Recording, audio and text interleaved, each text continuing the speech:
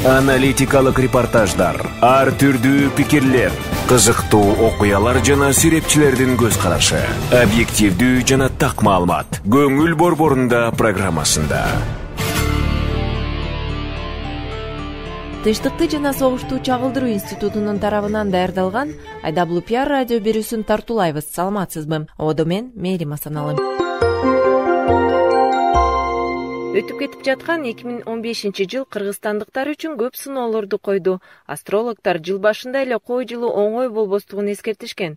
Алдын ала божомолдор дүйнөлүк каачылыктын жүрүшү менен жыл башындагы валюта рыноктарында чуулар экстремисттик террористтик уюмдар тарабынан коркунучтун өсүшү сыяктуу көрүнүштөр менен түшүнүктүү болгон. Бирок баары эле жаман болду деп айтууга болбойт. Жалпысынан алганда өтүп кетип жаткан жылда өлкө үчүн позитивдүү учурлар көп болду. Сиздердин назарыңыздарга өтүп бара жаткан жылда өлкөнүн позитивдүү кадыр баркынын бекемдешине эң маанилүү делген окуялар жөнүндө сөз кылабыз. эки миң он бешинчи жылда эле баштаганда кыргызстандын евразиялык бажы биримдигине кирүү же кирбөө кирүүнүн оң жана терс жактарын талкуучу жана ага карата айтылган көптөгөн сындар кыргызстан еазске киргенге чейин уланды акырында бул маселеге ушул өтүп келе жаткан жылда чекит коюлду. Май айында москвада акыркы келишимге тараптар тарабынан кол коюлду. Май айынын аягында кыргызстан еазске кирүүгө зарыл болгон мамлекет ичиндеги баардык процедураларын аяктады. Ал эми он экинчи августтан баштап кыргызстан евразиялык бажы биримдигине казакстан орусия белоруссия жана армения мамлекеттери сыяктуу толук укуктуу мүчө болуп кирди биримдикке кирген башка өлкөлөр менен кыргызстандын чек арасындагы бажы көзөмөлү алынып салынды. Ушул учурдан тартып биздин мамлекет евразия бажы биримдигине кирген башка мамлекеттер менен тең укукта өз товарларын кызматтарын капиталын жана жумушчу күчүн эркин жүгүртө баштады. Это действительно исторический шаг потому что бул чындыгында тарыхый кадам. биз евразиялык бажы биримдигинин тең укуктуу мүчөсү болуп калдык. Дал ошол күндөн баштап кыргызстан менен казакстандын ортосундагы чек ара бекеттери ачылды товарлардын капиталдын эмгек ресурстарынын жана тейлөө кызматынын эркин кыймылы орун алат биздин жарандар казакстан орусия армения белоруссия жарандары кандай укуктарды колдонушса ошондой укуктарды колдонууга ээ болушат армении беларуси если они будут находиться в этих странах. Деди премьер министр темир сариев кыргыз казак чек арасынын ачылышында. Учурда өлкө бирдиктүү рыноктун жана шарттарына ыңгайлашуу шарттарын башынан кечирүүдө. Бул көпчүлүк кыргызстандыктар үчүн оңой эмес. Бирок интеграциянын келечегинен көп нерселерди күтүп жатабыз. Евразиялык биримдикке кошулушу менен кыргызстанда жакынкы жылдарды жылдык дүн продукция эки эсеге жогорулашы калктын жашоо деңгээлин жакшыртышы керек. Кыргызстандыктар үчүн дагы бир маанилүү долбоор датка кемин долбоорунун аякталышы бул объекти токсонунчу жылдардын башында эле куруу пландалган бирок жүзүгө ашпай келген. Мындан үч жыл мурда бул объекти пайдубалын түптөгөндө бул энергетикалык объекттин куруп бүтүшүнө көпчүлүгү ишенишкен эмес бирок жыйырма сегизинчи августта республикасынын түндүгү менен түштүгүнүн туташтырган жогорку кубаттуулуктагы электр тогун берүүчү узундугу төрт жүз беш километрди түзгөн электр линиясы курулуп бүттү муну менен республиканын түндүгүндөгү калкты электр энергиясы менен камсыз кыла ала турган ички энергетикалык шакекче түзүлдү учурда толук кандуу иштеп жатат келечекте кыргызстан электр энергиясы сырттан алууну толук токтотуп аны өзү сыртка чыгарып сатуу жөндөмүнө ээ болот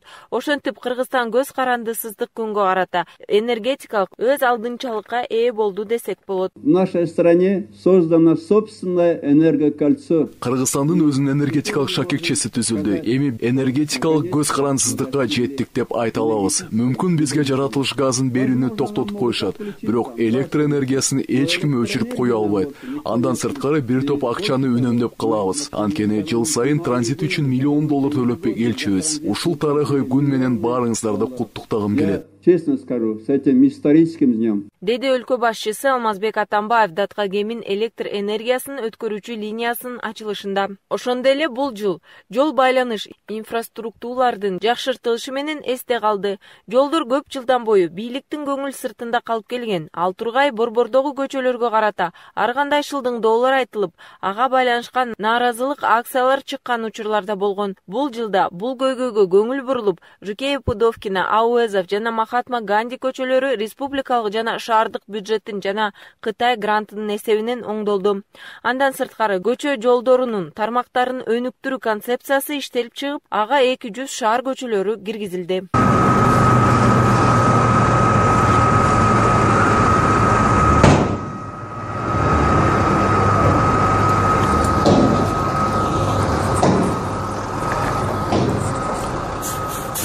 ал эми жыйырма экинчи июнда бишкек балыкчы жолундагы оңдоого берилген. Жол тилкеси ишке берилди. Ошондой эле түндүк түштүк альтернативдүү жолдун экинчи фазасы башталды. Бул жолдун түндүгүндөгү казакстандын түштүгүндө тажикстандын жолдору менен кошулушу орусия казакстан кыргызстан тажикстан транзиттик магистрали түзүүгө мүмкүндүк түзөт кыргызстан төртүнчү октябрда алтынчы чакырылыштагы жогорку кеңешти заманбап технологияны колдонуу менен шайланды.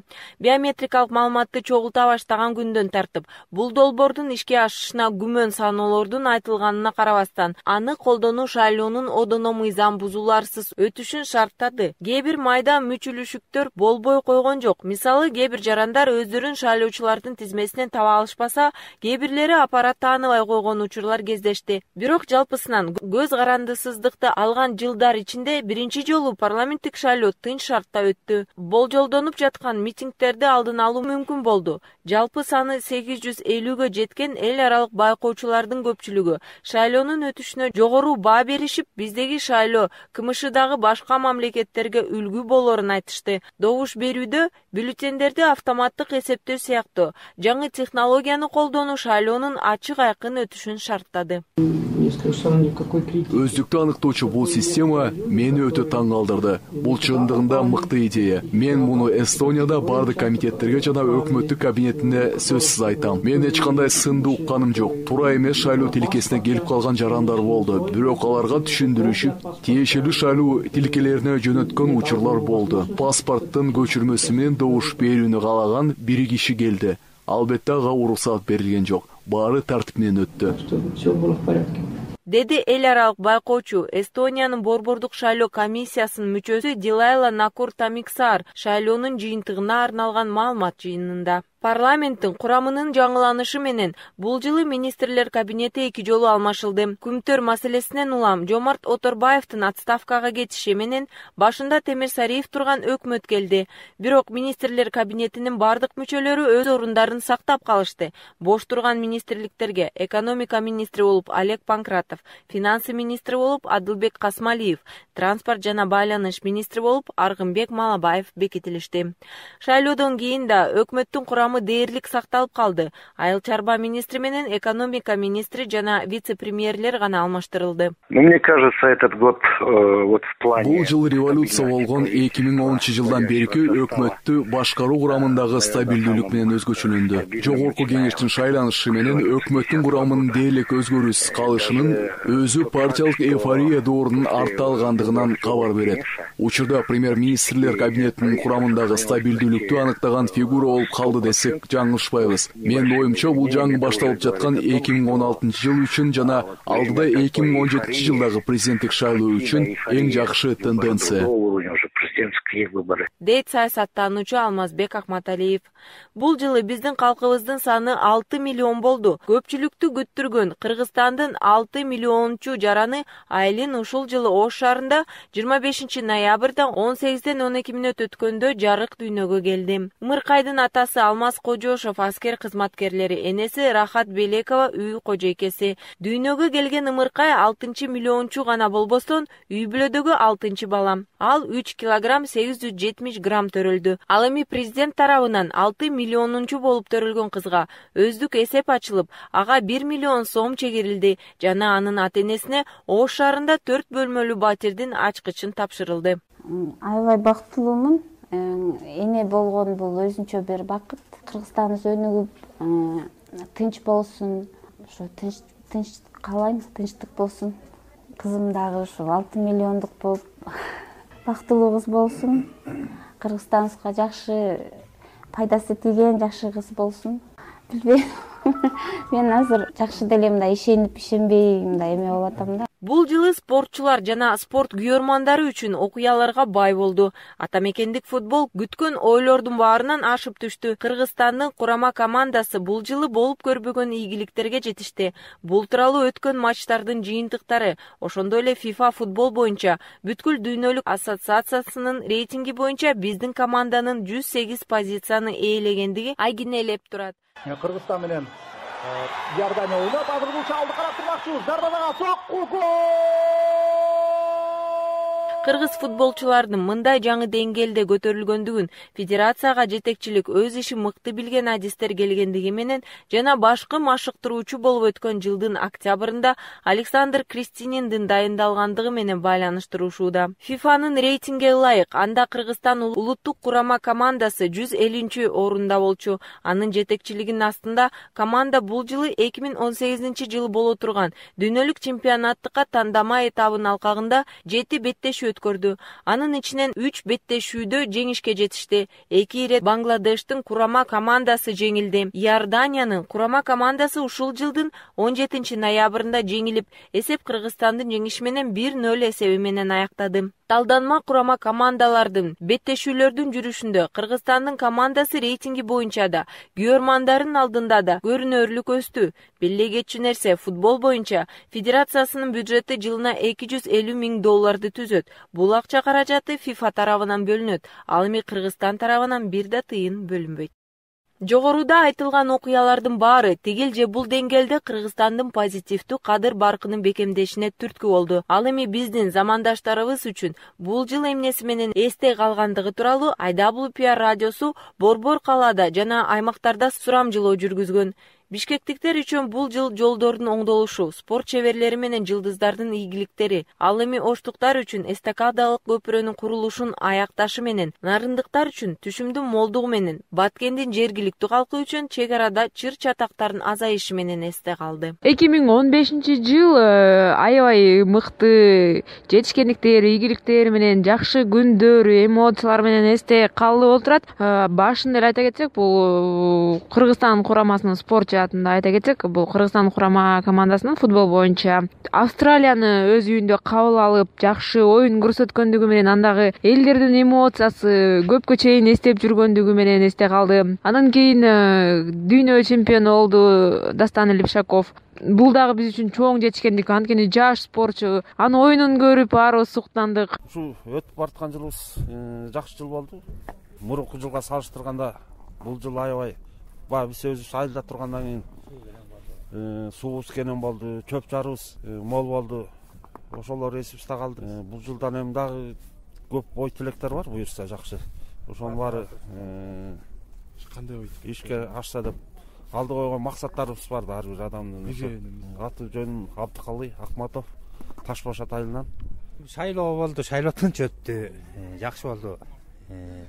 Ошо мындан кийин деле дагы ушундай тынччылык эле болсун кыргыз элинде э, токчулук молчулук болсун. Шайлоо да ушундай тынч өтүп турса эле болду кыргыз кыргыз элинин өнүккөнүнө жакшы да. Эми кызык чуу болгон жок да баягы жылдагыдай. Только анан доллардын кымбаттаганы баары оокаттын кымбаттаганы болуп атат калганы баары эле жакшы. Кийинки жылдарда ушулардын баары кайра ордуна келип тынччылыкты күтөм э, молчулукту күтөм. Ушу элге тынчтылык берсин.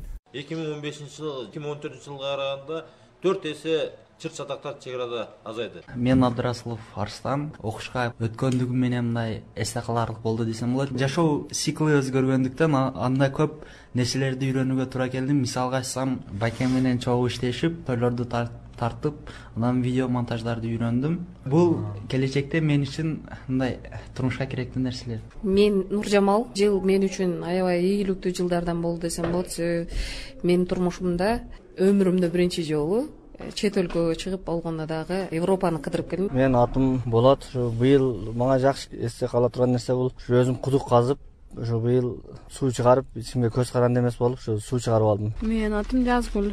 Өтүп кеткан жыл биз үчүн жакшы эле болду. Огородубуздан жыйырма беш миң сомдук эме киреше алдык. Өрүктөн өрүктү саттык үйүбүздү ремонт кылдык. Менин атым адилет быйылкы жыл жакшы эле өттү окшойт черектерим баардыгы эле беш чыкты. Бирок ошо тууралыктан түшүп калдым. Ал эми президент алмазбек атамбаев үчүн аяктап бараткан жыл эмнеси менен эсте калды? Бул суроого жоопту журналисттер салттуу жыйынтыктоочу маалымат жыйынында алышты. Иш чарага жүз кырк журналист катышып өткөн жылга салыштырмалуу алардын саны эки эсеге көп болду. Я помню какая радость у меня была. Мен парламентке таза шайлоо өткөн күндү жакшы эстеп калдым. Оппозицияда он беш жыйырма жыл бою жүрүп мен ушундай шайлоо тууралуу эңсечүмүн ошондой эле датка кийимин электр түйүнүн ишке киргизилген күн эсте калды. Бул күн энергетикалык көз карансыздыктын күнү болуп калды.